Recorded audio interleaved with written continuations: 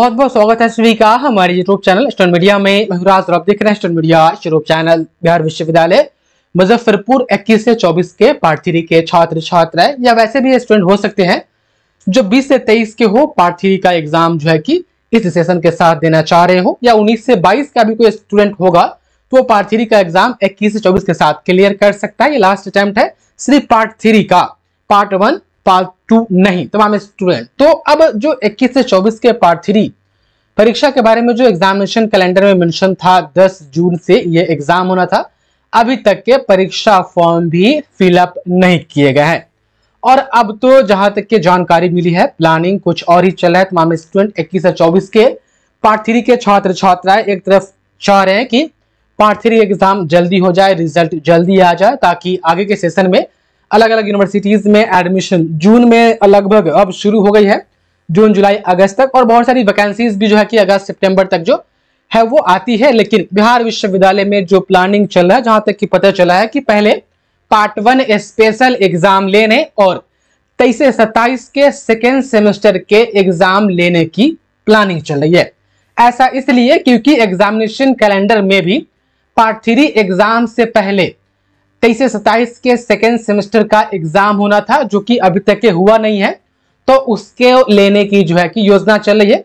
यदि हम बात करें तेईस से सत्ताईस का तो देखिएगा पॉइंट नंबर देखिएगा तो दस। यहाँ पर सेकेंड सेमेस्टर बाईस मई से एग्ज़ाम होना था सेकेंड सेमेस्टर का तेईस से सत्ताईस वाले का। उसके बाद से दस जून से पार्ट थ्री का एग्ज़ाम होना था। अभी तक के दोनों एग्ज़ाम नहीं हुआ है तो कैलेंडर के मुताबिक पहले सेकेंड सेमेस्टर का एग्ज़ाम लेने की प्लानिंग चल रही है। Part one special exam plus second semester exam. 10 June से लेने की योजना चल रही है। कुछ हद तक ये भी कहा जा रहा है कि पार्ट वन स्पेशल एग्ज़ाम और सेकेंड सेमेस्टर के एग्ज़ाम के लिए लगभग रूटीन भी तैयार हो गई है। वेरिफिकेशन अभी नहीं हुआ है रूटीन का, इसलिए वो बाहर नहीं आ पा रहा है। लेकिन तमाम स्टूडेंट, मेरे हिसाब से पहले 21 से 24 के पार्ट थ्री का एग्ज़ाम हो जाना चाहिए था, ताकि वैसे स्टूडेंट जिनका पार्ट वन, पार्ट टू दोनों क्लियर है वो पार्ट थ्री का एग्ज़ाम इक्कीस से चौबीस वाले वो जल्द से जल्द क्लियर करते और आने वाली वैकेंसीज हो, या अलग अलग यूनिवर्सिटीज हो, वहाँ पर जाकर के वो एडमिशन लेते हाँ। एक बात यह है कि वैसे स्टूडेंट जो इक्कीस से चौबीस के हैं और पार्ट वन अभी तक के क्लियर नहीं है प्रमोटेड हो गए हैं वह पार्ट वन स्पेशल एग्ज़ाम में वह बैठेंगे एग्जामिनेशन फॉर्म फिलअप किया है तो वैसे आंकड़ा तो बहुत कम ही होगा ना। लेकिन हाँ अधिकतर तो वैसे स्टूडेंट होगा।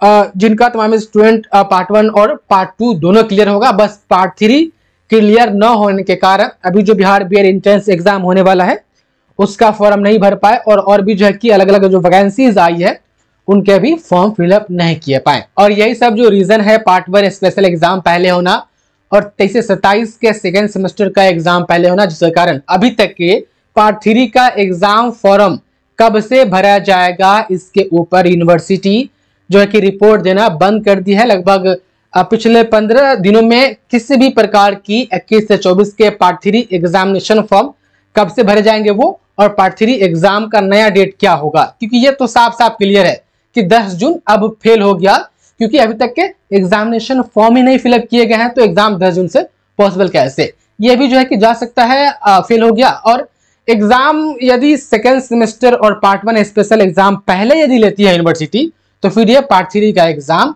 जुलाई तक चला जाएगा। आप लोग बताइए, क्या पार्ट थ्री एग्ज़ाम पहले हो जाना चाहिए या पार्ट वन स्पेशल और सेकेंड सेमेस्टर का एग्ज़ाम पहले होना चाहिए? देखिए, यदि मेरे से पूछिएगा तो पार्ट थ्री का एग्ज़ाम पहले हो जाना चाहिए था। सेकेंड सेमेस्टर वाले को कहीं एडमिशन तो लेना नहीं है। वो फाइनल ईयर की परीक्षा तो है नहीं।